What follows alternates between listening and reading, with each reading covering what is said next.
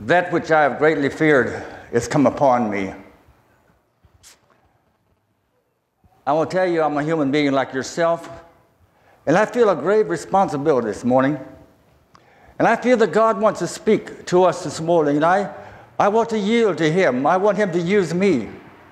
But I realize I'm human, and I could come in His way. I remember some time ago a man, and this man blessed my heart so much that I always wondered where he went. And I'd like to tell you a little story. We had a Christian day school. And on Monday mornings, we had someone come and share a devotional period with us children, something about God. Often there was a visitor come through and they'd ask him, Would you come and speak in the school? And this man came there. He walked in there and he had his head hanging down. And he uh, stood there for a while, and didn't have anything to say. And finally he said, I'm going to have to confess something to you. He said, something happened, and I just did something real foolish.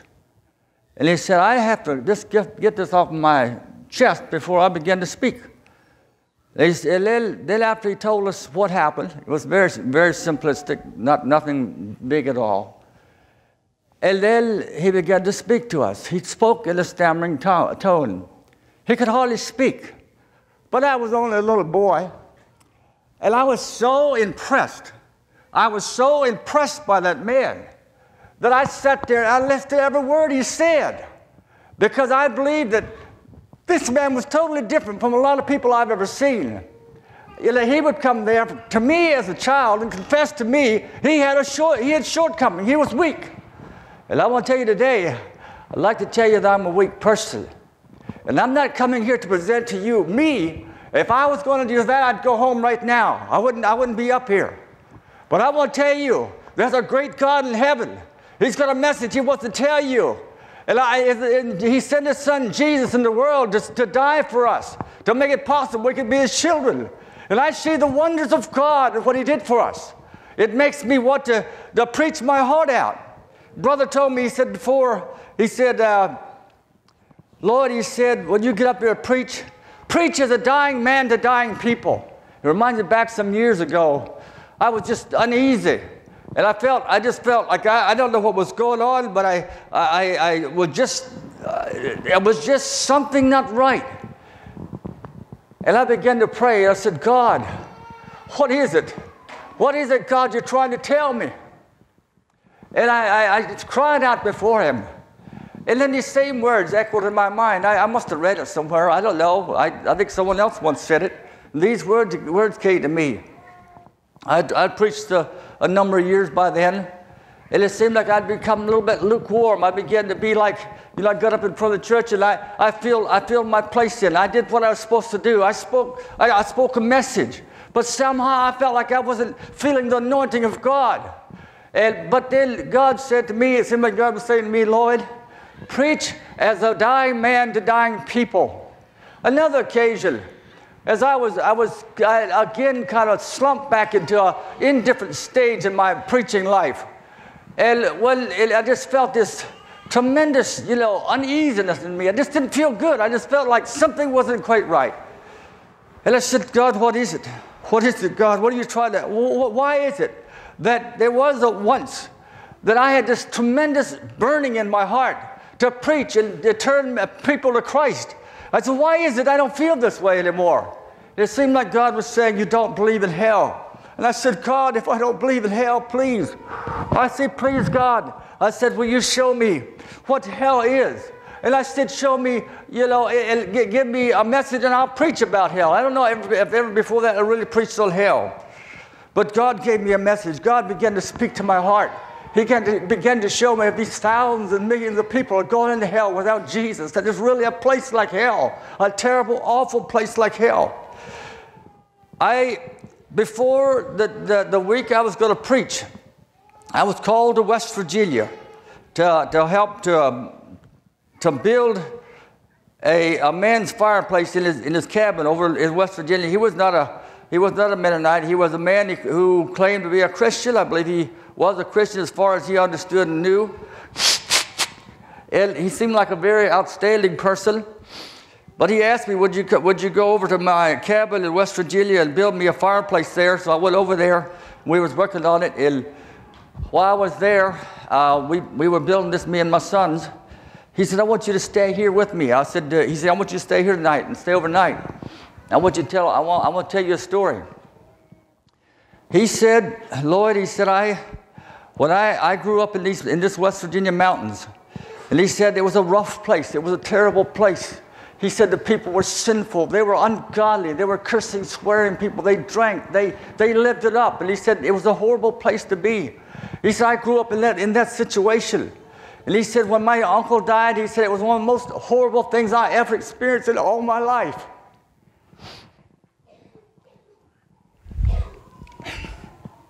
He said that that uncle of mine, when he died, he cursed and swore. He said, I'm going into hell. And he said he swore and cursed and, and raved in, in his dying. He screamed and shrieked. He said, I was a young man. He said, I went out. He went out from there. He said, I went out to seek God. He said, I went out and I prayed. I said, God, help me to find you.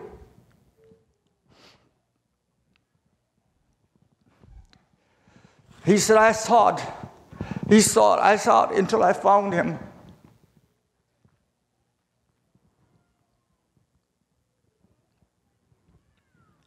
I want to quote to you a poem. Tell me not in mournful numbers, life is but of empty dreams, for the soul is dead that slumbers, and life is not as it seems. Life is real, life is earnest, and the grave is not its goal. Dust thou art, dust returneth, what's not spoken of the soul. I want to tell you something.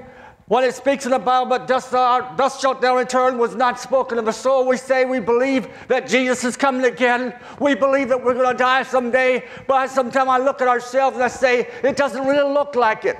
You know, if we really believe this is our last day, would, would we be indifferent? Would we sit here indifferent? I don't believe so. And I don't believe when we walk by people that we couldn't stop and say, hey, do you know Jesus? And you talk to them. I believe you really knew this was the last day. But we say, we believe Jesus is coming.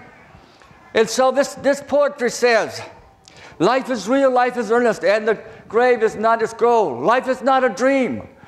When I was, when I was a boy, we went to school. There was a little song we sang, a part song. And this little song was a, went like this Row, row, row your boat gently down the stream. Merrily, merrily, merrily, life is but a dream. I will tell you, dear friends, dear brothers and sisters and friends, life is not but a dream, but life is real and life is earnest. And the grave is not its goal. Dust thou art, dust returneth, what's not spoken of the soul. We're going to stand before God someday. And I want to tell you something. I, I think of discipleship and evangelization. And I thought, I prayed, I said, God, how would I preach this message? I'd like to preach this message in one, two, three, and ABC motion where you can put me can make notes and, and follow me up today. But today I know I don't think you're going to be able to do that very well. That's what God laid on my heart. I believe God is telling me to warn the people. He said to the prophets, He said, cry out aloud, warn the people of their sins.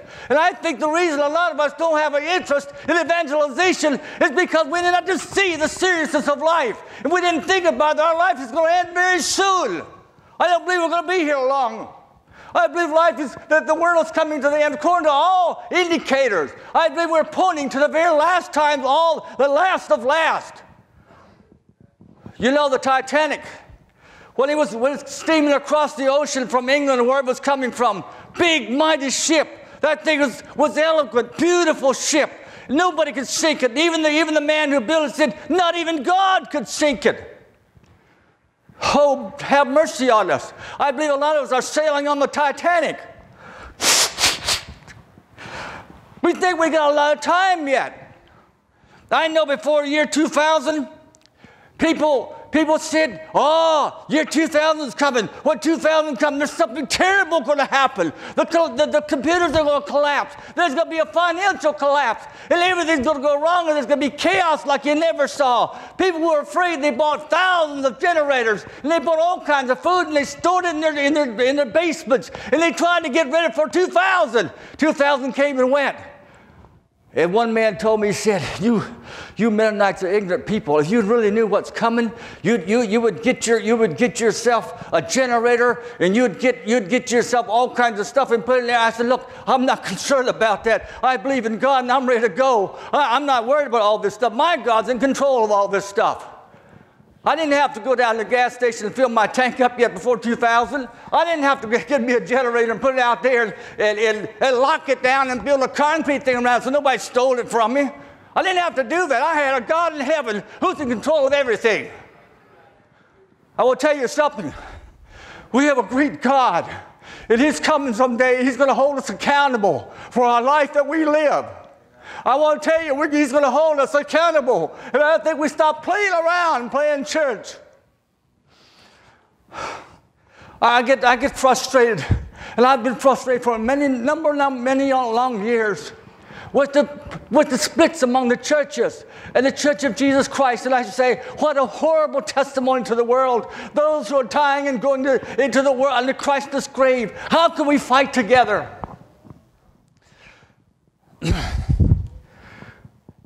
I don't know where to go from here. There's something's on my mind. You know, we make all kinds of excuses. Jesus said, He gave an example of, of those who made excuses. Once the man invited people to supper. And he, they, and he said they began to make excuses. He, one says, he says, I bought some land. I got to go observe. I got to see what's, what, what's going on. I can't come. And the other one said, I, I bought me some, uh, some oxen. I got to go check them out and see how these things work. I can't come. And the other one said, he said, he invited me and said, I can't come. I, I, I married me a wife. I can't come. And I think there's so many excuses why we can't evangelize, why we can't do things. I can't speak. That's what Moses said. He says, I, God told him, uh, Moses, I want you to go over here and I want you to deliver my people out of the land of bondage. And Moses said, Oh God. He said, I can't speak. I will tell you something. I, I felt that many times. I felt like I couldn't speak. I will tell you something about myself. I want to encourage you not to be afraid to talk to people. I was one of the most backward people. I sat in the corner as a little boy. I, when I at recess, I'd run outside and run around to the, to, to the furnace room. I'd sit down in the corner there and I'd watch the ants because I was so afraid of everybody and I was afraid of everything. I couldn't speak very well. And I'll tell you something. I asked a few questions. Just, just a, a crude example. Why in the English language is goose, the plural for goose is geese? but the plural for moose is not meese. Why in the English language is the plural for mouse mice, but the plural for house is not heis? And there's so many things like that. You know, we can, we can squirrel the English, English language and we can twist it around. We can, we can use other phrases I've never used before. And if use enough people use it, it becomes proper. So I'm, I'm not sure sometimes how to speak. I wasn't good. I wasn't good in English. I was, I was, I was born in the southern region. I'll tell you something happened to me some years ago. I've been ordained about 40 years, and I've been excited about Jesus. And not always, not always excited, but Jesus always, God always brought me back again. He get, again get that fire in my bones. But I was tempted, you know, when I was first ordained, I would pass out. I could, I'd get up there and I would tremble. I would tremble so bad I could hardly, hardly preach. But God, he, they, he used that. People listened to me. They saw, they saw how I had to hold to the pulpit. One time I was holding there, and I, I, I guess I passed out. I was still standing right there holding that pulpit. So people said, I can't speak. I can't tell people. I can't talk to people about Jesus. I, am not able to. Moses said, I can't speak. And so I was, I, I grew up in the southern part of Virginia, and there were, it was a black section, African American section, and they spoke a real tremendous heavy accent of something different. Anyway, that's what I grew up in. And when I go to preach, when I was first ordained, people say, I don't know, I, I, I about can't understand you because you got such a southern accent. I just can't hardly understand you. One place I preached, and I preached my heart out, and this one young, one young uh, uh, uh, married man, he came up to me, he said, I tell you what, he said, hey, I didn't understand a thing you said today. And he said, and he said, I, got, I acquired a splitting headache. I said, oh my God. I said, what, what, what shall I do? You know, people can't even understand me. And, and so I pray, God, please, Lord, help me. Help me that I can speak that people can understand me. I, people don't say it as much now that I have a southern accent. I hope, I hope you can understand me. But I will tell you what, I believe that God can make you understand. You know what God told Moses? You, you make excuses, you say, I can't, I can't speak to people. Moses said, I, I can't speak. What did God tell him? He said, have, have not I made your mouth? Didn't I create you? Didn't I make your mouth? I'm convinced he did. I'll tell you what, I'm a standing miracle that there's a living God and that he still lives today. Four years ago, I should have been dead. Three times I was out, where I was out for a day. They had to fight for my life. They tried to put a needle in here. I was in intensive care for six weeks. They said I was full of cancer. They had a cancer down here, cancer up here. It looked like it was in my lungs. And I got, I, I, I acquired, I had pneumonia so bad I could hardly breathe. And I was strangling to death. I couldn't swallow anymore. I couldn't eat food. I lost 70 pounds in a short while. And I was a, I was a rack of bones. I should have been dead. You know, it, then because of this I cancer was up in here, I got a muscle disease, or something like muscular dystrophy. In the, this muscle disease, they call it myasthenia gravis. Whatever that is, it's a, it's a terrible thing, they say. They say, you'll stumble, you'll fall. You'll begin to see cross-eyed. You'll see, see double vision. There I lay in the hospital. Before I went to the hospital, this is how, this is how I walked. I walked like this, holding my head because I couldn't hold my head up and wanted to fall down because I didn't have strength in my neck anymore. Well, I finally got so bad I couldn't eat anymore. Then finally I couldn't drink anymore. I told my wife, this is it, I'm finished. I can't drink, I can't eat, I'm finished. She took me to the hospital, took me to the emergency room. They rushed me in there, and they tried to put needles in me. At one point, they tried to put needle, and they tried and tried to get my main artery up in here, and they tried to get in there, they couldn't get in there. I was just, I was like strangling to death. I was terrible, pale and, and uh, strangling. They was trying to get it in. They were talking about put the needle that way, put it that other way. And they were just gouging me and gouging me. I was in such terrible pain I could hardly make it. And I was about to lose my, in my head. There I was laying. They couldn't get in. Finally, just laid it down and went away. I think they said he, he, there's, no, there's no hope for him. We, we, can't, we can't get him back. But you know what? I'm here today. My, my wife, I told my wife one day, I said, I said, I said, Betty, please, I said, I'm tired. I said, please let me go.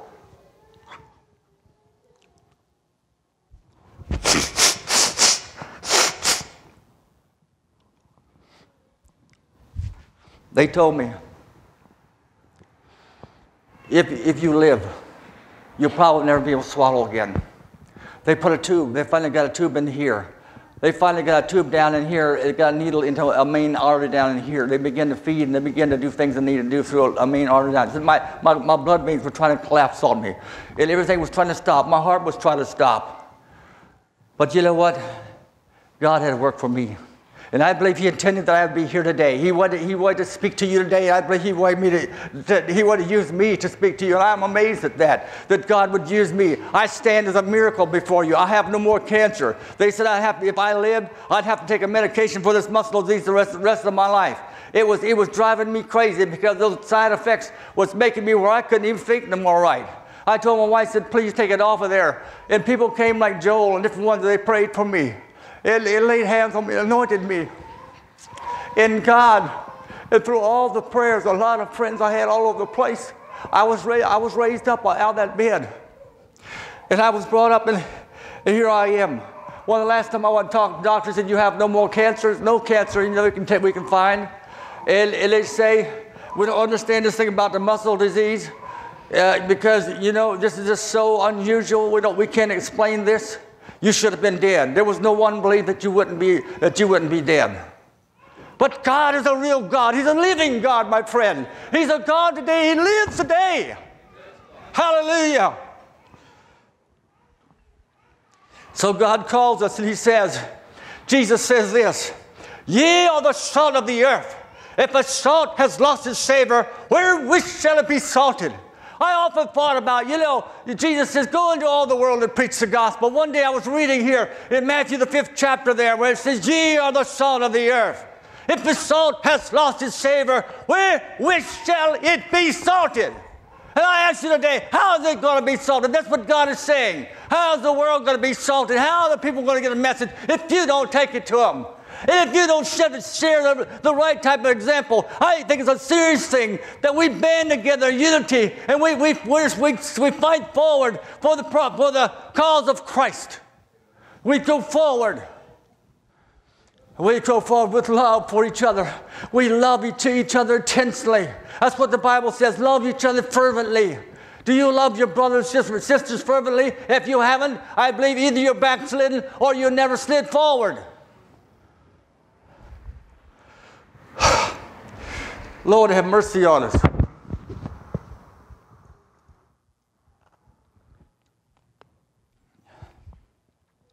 I to tell you something.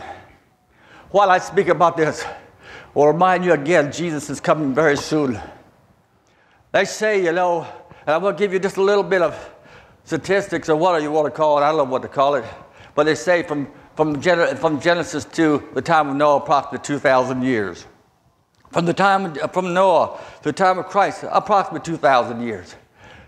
And from then to now, another 2,000 years. And God has done things in sixes and then seven. And we believe it, it points to the end of time. And I believe we're running out of time. The, the clock is ticking away.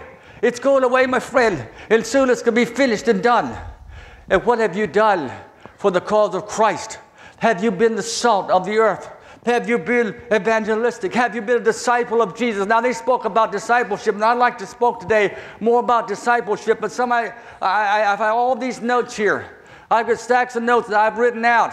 I said, God, I want you to get a hold. I want you to speak. I want you to, I want you to get the people to get on fire for you. I want them, I want them to see the necessity of speaking to people about Jesus. Oh, that I can make it real to you. That life is, the time is running out.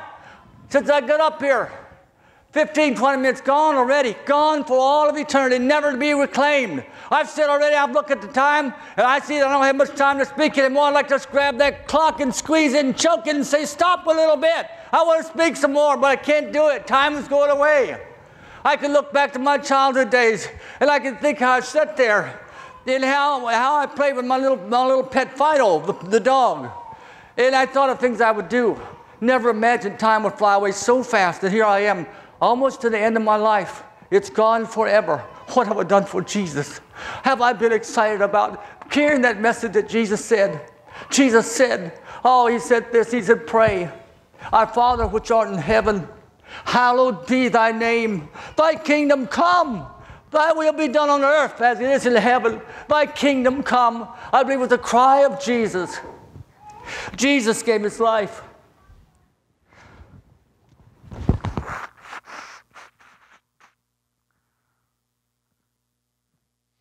Jesus gave his life for us. He, suffered a terrible death.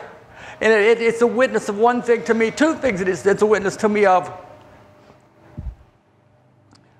What is of God's hate for sin. Sin is an awful thing in the sight of God.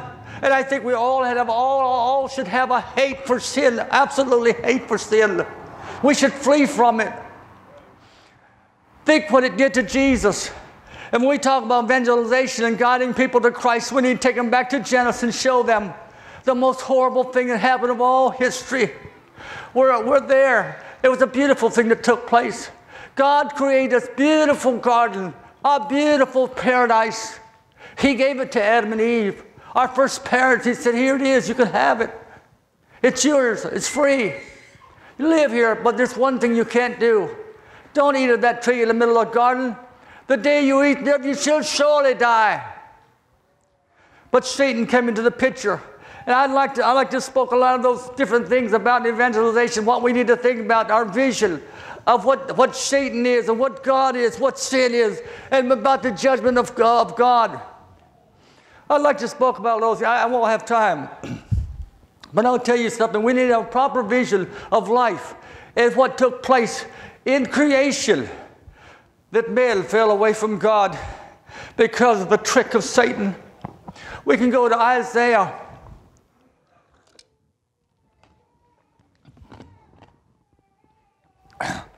We can go to Isaiah and we can notice there the words of the prophecy speaking about Jesus. And it speaks about what he is to us. The Spirit of the Lord God is upon me because the Lord hath anointed me to preach good tidings unto the meek. He has sent me to bind up the brokenhearted, to proclaim liberty to the, to the captives, and the opening of the prison to them that are bound. Oh, hallelujah. This is what Jesus came to do, to set at liberty those, bound, those, who are bound. What, are they, what were they bound to? I want to make clear to you they were bound to Satan. Satan played a trick on them. He fooled them. He's a liar. He's a thief. And I'll tell you, my friends, there's a lot of you, I think you're following him. You don't even know it. Have mercy. You take the Bible, you seek and you seek after God. God says, I will, I will come to you and I'll bless you. I will give you wonderful things if you will humble yourself and repent from your sins and pray. Pray and seek my face. Pray and seek me. You're bound. A lot of you, I believe, are bound. You're led about round about Satan. You think you're a Christian. I think of, I think of Samson. Samson, he says that he, he, he had this terrible, great strength he had. He had this assurance that God was with him. But he fooled, he played around with sin. He messed around and finally, finally came down, he was tricked. And, and Delilah, I believe it was Delilah, that she enticed him and she said, Tell me what is the secret? What is your strength? He said, finally, he, in, his, in his desperation and his tired of, her nagging him, she, he said, It's my hair. Ah, she knew she had him then. And that night she cut his hair. But in the morning, when she calls it Samson, they're coming for you. He got up. He said he got up like he was, like he always was before. He, he wist not. The Spirit of God had left him. Oh, have mercy on us. If, if we play around with sin and we, and we, don't, we don't see the seriousness of sin, we don't witness to people, we don't tell people that, that God hates sin, the cross. I was telling you about the cross. One witness of the cross is this that God hated sin. There was only one thing that had to be done. There had to be sacrifice made. It had to be the Son of God had to be Jesus himself. And Jesus said, Father, if it be possible, let this cup pass from me. Let, let not my will be done, but not my will, but thine be done. And I could, I could speak about that, how he went through those three times. He agonized in his spirit. He prayed. It was an agony because of his sin. Where in the garden, when they took of that, of that fruit, that thing that they shouldn't have done, there was a death that took place that day. We were separated from God. That was the darkest, I believe, the darkest, one of the darkest things in all history when sin came into the world and separated man from God. They went and hid from the presence of God. But God today wants to reunite people with Him. We as people should go out to cheer the world, tell the world about Jesus, and we tell them about the awful impending judgment that's coming. We should tell them, we should be the voice of God. We should be the voice that carries His message. Here recently, I was about two years ago, I was, I was praying. I said, God, I said, I want a message from you. Would you please speak to me, Father? Would you give me a message to preach Sunday morning? I said, please, God, I want a message from you. I don't want to just fill in time. It's just like that. I felt a tremendous moving of God. This one word fell upon me. This was the word came to me. Simple word. You'd be surprised what it was. Stewardship. Stewardship, God is a stewardship. And I talk with God, you know, I talk with him all the time, me and him as friends. I was talking to him. I said, Lord, you know, I like to get excited. I like to jump around. I like to, you know, I like to beat the pulpit every now and then. I don't want to beat this too, too small here, but, but uh, I, I, like to beat the pulpit. I like to stomp my feet, you know. I like to get people's attention. I want to wake them up. Well, anyway, so I'm, God says, preach on stewardship. And I said, Lord, I don't know how to do this because people allow fall asleep. I said, how, how am I going to keep them awake? You know, well, Lord, I said, well, can you show me what I should use? Just like that, a verse fell on me. I didn't know it was in, the Bible. I wasn't sure if that was Charles Spurgeon or if that was somebody else did that little statement. But I was, I felt, I felt sure in my heart it was, it was God speaking to me, wherever it came from. But it came from Peter. First Peter, I think the fourth chapter, about the ninth verse. He says, there it says, it says this. These are the words that fell from heaven upon me stewards of the manifold grace of God. And oh, I tell you, it got a hold of me. I got so excited I could hardly, I could hardly hold myself. I was, I was running to church right then preaching a message. I, I, felt God's anointing on me. I, I felt my hair started to like crawl, and my skin was just like, I mean, my skin was crawling, and I wanted to go to church and preach on stewardship. And I, I told the people that Sunday, I shouted, and I, I, I carried on. I told the people, I said, why did we miss it? We're stewards. I said, we're stewards of the manifold grace of God. The big, big grace of God is so big, you can't imagine how big that grace is. And it's the grace. Oh, the grace of God. Jesus, He died on the cross, and it takes care of all of our sins.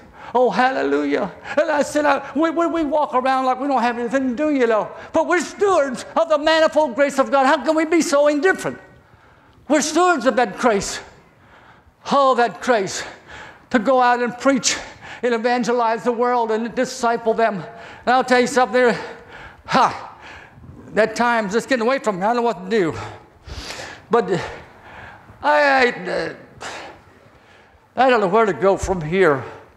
But I'll tell you what, we need to be serious about it. Time is running out.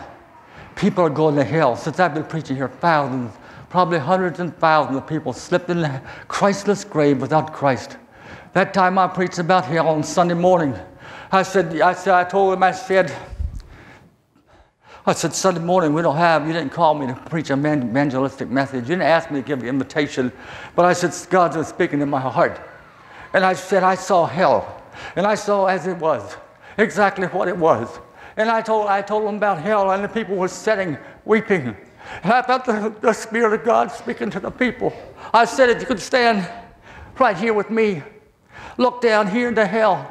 And you saw the you saw the people shrieking from hell. You saw them burning down there. You would say, Lord, scream, preach, stomp your feet, do what you want to, as long as you want to preach it. Even though it's Sunday morning, preach it. Give invitation, whatever you want to do. I want to tell you something. It's true. God told me it's true. People are going to go to hell, and what are you going to do about it? What are you going to do about it?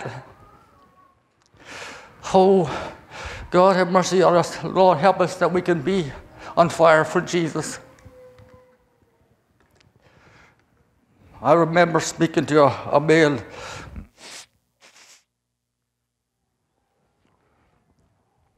On, on the job one day, I, will tell you a little story.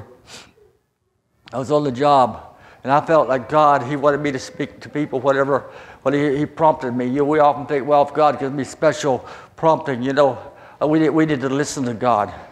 And I think often God speaks, and we don't hear him because we don't want to hear him. And then because we don't want to hear him, he don't speak anymore. Do you hear God speak? Do you have the Spirit of God living inside you? If you're not, if you don't have the Spirit of God living inside you, Paul said you are none of his. If you can't sense the Spirit of God inside your life, you need to, you need to find him. You need to do something about it. But anyway, God spoke to me that day. And this man was cursing and swearing. He was a violent man. I was working on the job and he was, he was beaten. He was down here doing some plumbing work and he was beating on this thing and he hit his thumb and he cursed and he swore. And every, every couple sentences and words, he was using God's name in vain and he was, he was using them so many times that I, I just almost, my skin was almost to crawl. I finally went over there. I thought I, I maybe, I, I didn't know what to do. But I thought it's time to do something. I went over to him. He was kneeling down there. And I didn't know if he would, if he would jump on me like a tiger or not. But I went over and I laid my hand on his shoulder. And I bent over him. I said, Frank, I said, if you don't quit damning, I said, you may be damned eternally. And he got so mad, he began to scream and holler. He used, he used the Lord's name in vain. He said, I'm going down there. In that place, he used the word. And he said, I'm going to be damned eternally. And he said, and I don't care. He said, I'm going to be, dig- I'm going to be digging the coals down there. Oh, God, I said, why did I talk to that man? Wasn't there a better way to talk to him? The devil said, you shouldn't have done that. You shouldn't have done that. And I walked away, and I felt like, well, I just, I just can't speak no more. I got to keep my mouth shut. You're just, the devil said, you're, you're really ignorant. You're really ignorant. You made that man mad. Uh, so I, I went away. But a few days later, Frank got bit by a little tick, a little tiny tick. And that tick bit him. He got sick. He got Rocky Mountain tick fever. He ended up in the hospital, breathing in, in death, almost died. So close he come to death. he didn't die. But something happened to Frank in that hospital. Next time I saw him, Frank was a different man. He come to me, he said, Lord, he said, he said, pastor or preacher, he said, I want to tell you something. He said, I'm a different man now. He said, something happened to me. Yeah, I knew what happened to him. He came to Jesus. He gave his life to the Lord. You know, I, I could have said, well, you know, I won't talk anymore. I shouldn't have done that. I, I praise God I said something to him. It gave him another chance, gave him another, another thought about eternity. I believe God sent that little tick to bite him. And so he said, I told my, I, I tried to tell my wife what happened. And she said, oh, yes, honey, I know. I know what's, I, you went through something terrible there. She patted him on, you went through something terrible. He said she didn't have the slightest idea what I was talking about. He said, I couldn't tell her. I was so overjoyed with what happened to me. I gave my heart to the Lord. Hallelujah. And Frank changed. The same man who cursed and swore, he was, he was known by everybody. Everybody knew how, how he cursed and swore. No more cursing and swearing. It was gone. Frank was different. He was talking about Jesus. He was just excited about Jesus as he was smiling the other way. He was like Paul the apostle. He was going. He was happy about Jesus. He's going for it. You know, he's happy about Jesus. But I want to tell you something. Satan wants to blind our eyes. That's his business. That's his business to blind our eyes. It says here in Isaiah, the 61st chapter, that it talks about how that it talks about Jesus.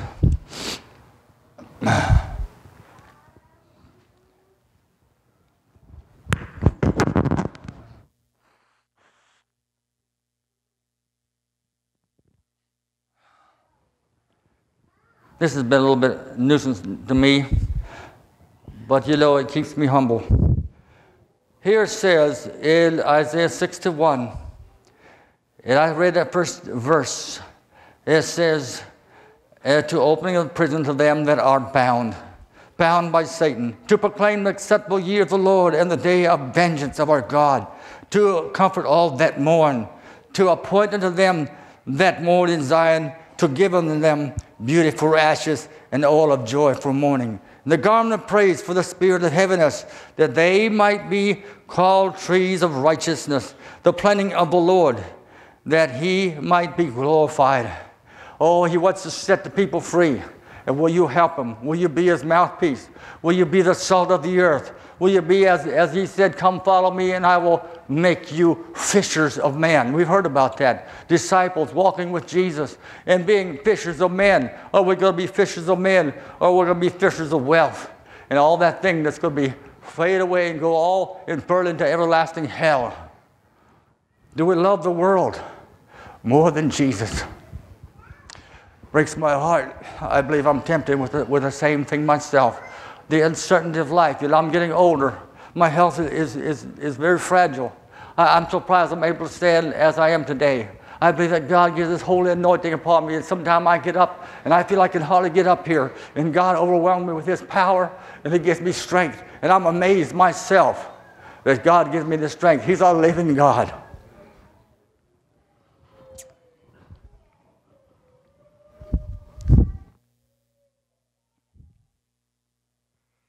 Go into all the world. Go into all the world and preach the gospel, teaching them to observe all things I have commanded you. And lo, I will be with you until the end of the world. This is the promise of God. I will be with you when you go and do what I tell you to. You say, he says, go, and you, you want to say no. And then as brother, as brother uh, said, he said, well, it's not, it's not lo if it's not go. Hello, he will not be with you. And I agree with that. A lot of you probably feel you probably feel destitute. You probably feel like there's something not quite right in your life. And I want to tell you, I want to call to you, I want to with you. Make that choice today. Recommit your life to the Lord and say, God, God, I sinned against you. I would like to tell one more story.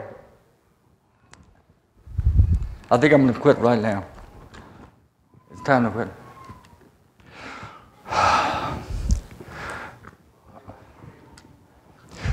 I, I, think I missed the time. I, I think I was looking at time wrong. I'm sorry.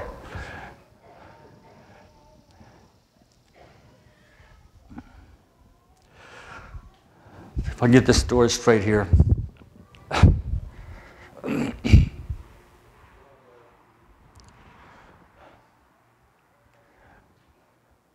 I, I, think the devil would like to hinder me right now. I, I think he would like to stop this thing, but God is greater than he. He does this, he, he, gets, he gets attention from God because God gets the attention. He, he tries to stop me. And so, I want to tell you, it's a serious thing to play around when God calls you. When He speaks to you and you don't hear Him, you reject that. I want to tell you there comes a time when He'll call no more. He won't call anymore. I believe that God wants to speak to us. I, I, I think God is saying no. So I think we'll stop with that. Lord bless you. Seek the Lord with all your heart. Call upon Him while He's nigh. Someday He won't be there. And Revelation says, you'll hear His voice no more. God help us. God bless you.